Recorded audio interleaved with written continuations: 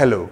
In this short video, I'll be talking to you about the disease scabies. Scabies is a disease of the skin that makes you have a rash and an itch. And it is caused by a little parasite that lives underneath the skin and causes the skin to itch very intensely.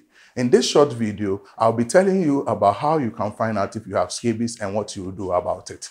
Scabies is transferred between people via direct skin to skin contact.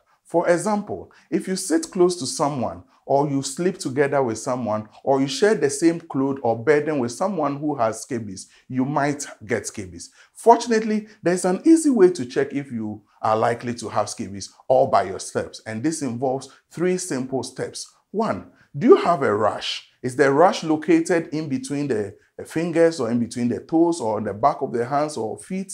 Is the rash around your wrist? Also commonly around your genital or sexual organs and also on your buttocks. Is the rash very itchy? Scabies is associated with a very itchy rash. If you have any of these, and in addition, there is somebody in your home, in your school, or in your work environment who also has a rash, which is itchy, then there's a high possibility that you can have scabies. What do you do if you have scabies? If you have scabies, we recommend that you visit your local hospital or clinic where you will be met by a very able doctor or nurse who would offer you assistance.